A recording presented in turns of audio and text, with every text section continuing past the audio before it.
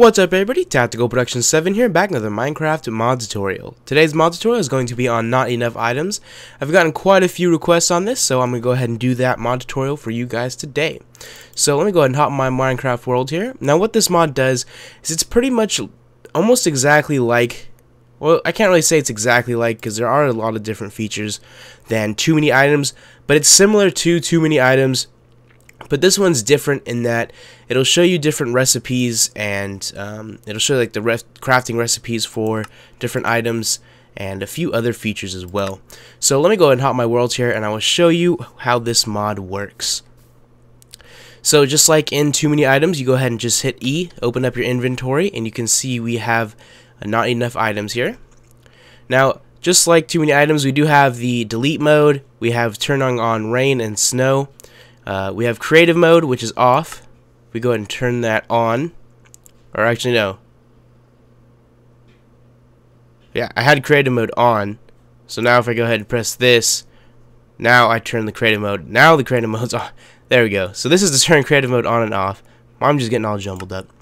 Um, this is a magnetic mode. I'll go ahead and show you what this does in a little bit. And of course we have set time to dawn, which is sunrise. So the sun should be coming up over there now.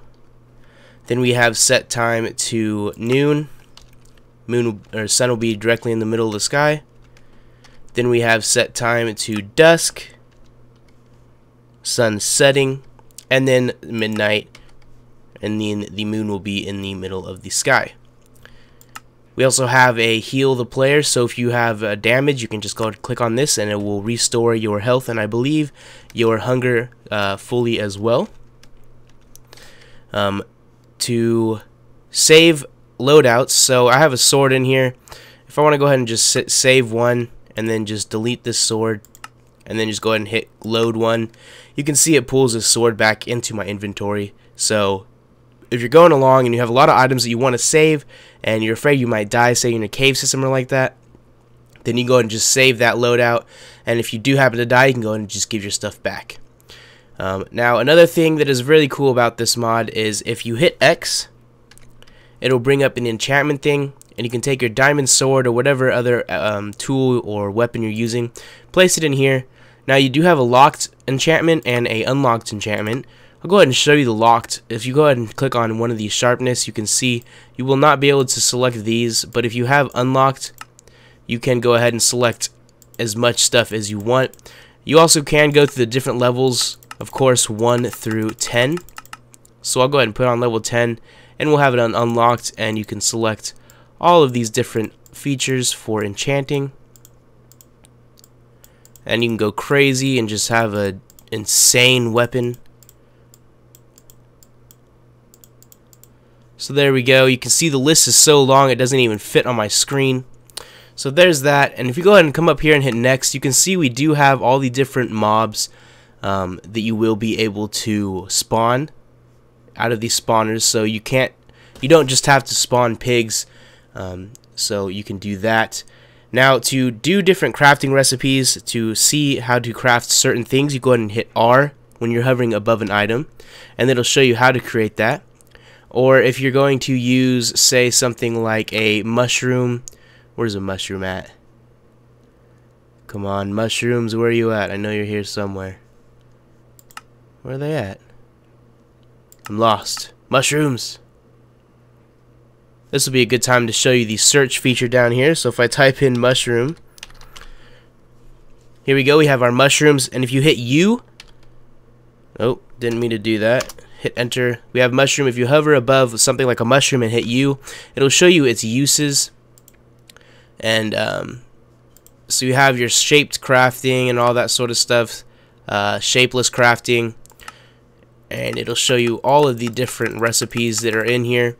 Now you can also go down to options and select um, cheat mode or recipe mode. And when you're in recipe mode, it'll show you all the different recipes, including mods, excuse me, items that are added by mods will be in here as well. And then we also have the different loadouts and all that sort of stuff. Um, we can you can disable not enough items from here. Oh, I need to take it out of recipe mode. We have utility mode, which will have the uh, magnet mode on and then the um, items and as well as the recipe mode. And then of course the cheat mode is what we were originally on. Um, so I'm gonna go ahead and escape out of this and I'll turn on magnet mode and then I'll go ahead and give myself um, just a whole bunch of random items and then I'll go ahead and toss these out everywhere let me go ahead and fly first just so I don't pick them up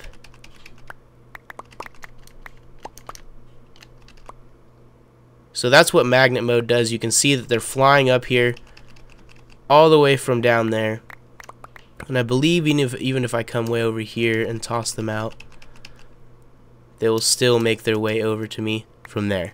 So that is the magnet mode. Um, I believe that is all the different features that um, are in this mod that aren't in too many items.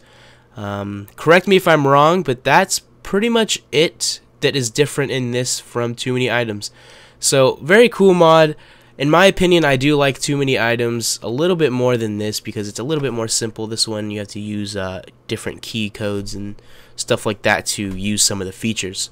So that is the not enough items mod. I now need to clear out my Minecraft jar. After I do that, I will be back and I will show you how to install this mod.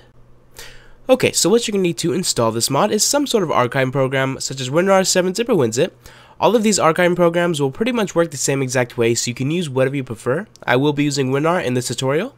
You will then need to download Minecraft Forge, the Code Chicken Core, and the Not Enough Items itself. So to download these three files, I'll go ahead and give you a link to these two pages in the description. You will be downloading the Code Chicken Core and the Not Enough Items from the same page, which is this page right here. But you want to go ahead and scroll down until you see the Code Chicken Core right here and then just go ahead and click on show and then you want to go ahead and click on download but don't actually click on it go ahead and right click the download link and then go ahead and select open in to new tab and this will open us up to an ad focus ad, ad focus is a revolutionary new oh. way of making money on the internet from sharing links on Facebook, Twitter, or YouTube. Simply sign up below, share links, and earn money. Okay, thank you, random voice. So there you go. That's what ad fuck folk us is. Okay, anyways, you want to go ahead and just click on skip right here, and it will automatically download the mod. Sorry about that. That was really random and weird. But anyways, so once you download the Code Chicken Core, you want to go ahead and go and show the not enough items, and then go ahead and come down to instructions plus downloads, and click on show again and then you want to go ahead and click on the download link this time you can go and just click on it because we don't have to stay on that page.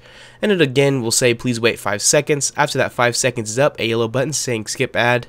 Not a yellow button just a button that says skip. Go ahead and click on that and we'll automatically download the mod. So that is how to download the chicken mod not the chicken mod the chicken core the code chicken core and not enough items. Now for the minecraft forge you want to go ahead and come over to the main forge download and this will be the recommended version, which will be the uh, most recent version, so it'll work better with Minecraft. And you can either download it from AdFly or direct, whatever you prefer to do. Keep in mind, downloading it from AdFly will help support the mod creator. Uh, make sure you are downloading the universal version. From, so, again, download it from either one. Just make sure you download the universal version, not the source. So that is how to download all of the files you will need to install this mod. So when you're ready to install it, go ahead and come over to Start. Then type in percent app data percent, just like this down here in the bottom left hand corner. Then go ahead and open up your roaming. Open your .minecraft, then open your bin. Left click your Minecraft jar, then right click it. Do open with and select whatever archiving program you're using. I'm using WinRAR, so I'm going to go ahead and open it with WinRAR. Now go ahead and minimize your bin because we'll be coming back to it later on in the tutorial. So once you have your Minecraft jar open, go ahead and open up Minecraft Forge and you're going to want to put all of these files into your Minecraft jar and the easiest way to do that would be to hold control then hit A and that will highlight everything and you want to drag it all into your Minecraft jar and hit OK. Go ahead and close Minecraft Forge. Now in your Minecraft jar you should see a folder called META-INF. If you do not have this folder that's okay. You can go ahead and just skip this step but if you do have it what you want to do is delete it. So go ahead and left click it then right click it. Select delete files then hit yes and that will delete META-INF.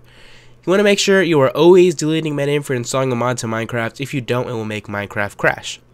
So after you delete META-INF, go and close your Minecraft jar.